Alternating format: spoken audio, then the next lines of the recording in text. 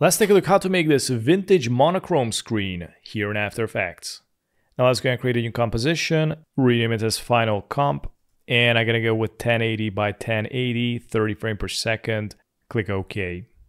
And here I'm gonna drag and drop the video with the subject, and let's go and right click here, go to New, and select Adjustment Layer.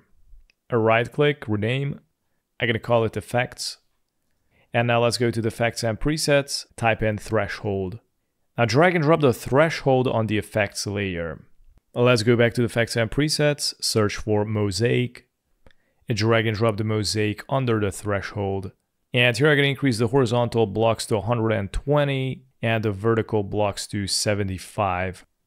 Let's go to effects and presets, search for Venetian blinds, and drag and drop it under the mosaic. Let's go to directions and I'm to change it to 90 degree angles and for the transition, I'm gonna go with 75.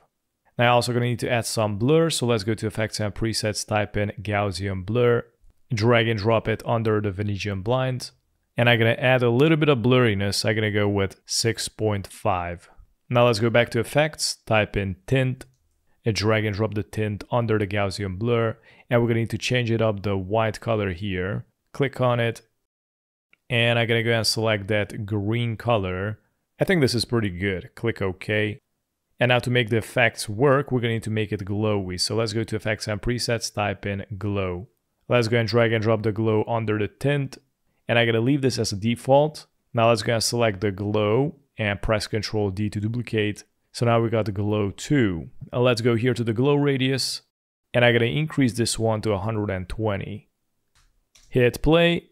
And pretty much that's how you make this really cool monochrome screen here in After Effects. Thanks for watching.